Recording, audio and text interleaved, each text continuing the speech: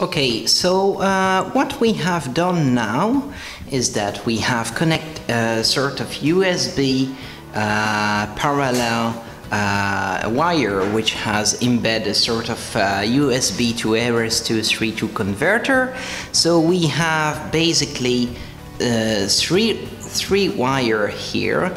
We have the ground and the RX-TX. So uh, in this video we're going to see how to uh, take the control of the transmitters directly uh, by the computer using the uh, PuTTY uh, software which is the free software and which can allow you uh, by command, li command line to control the transmitters so you will have access to many features like the RDS frequency and many more. So if you have some uh, suggestion to share to me feel free to to give because uh, the software is uh, under development so it's time to to share your ideas into uh, the development of the futures of the Radiomaster.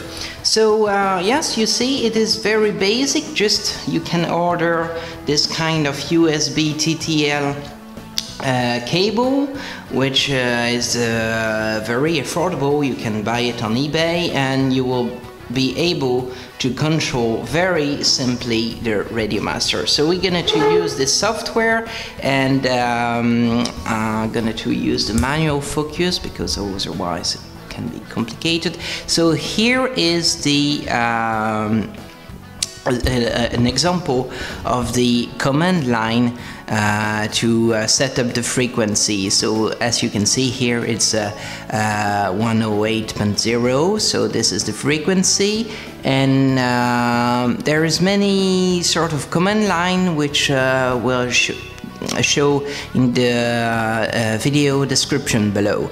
So let's go and see how it is. Okay, so as we as you can see now, I have uh, right on the command line the uh, RDS text filters on the for the transmitter. So as you can see, it is displayed here on my uh, mobile phone screen.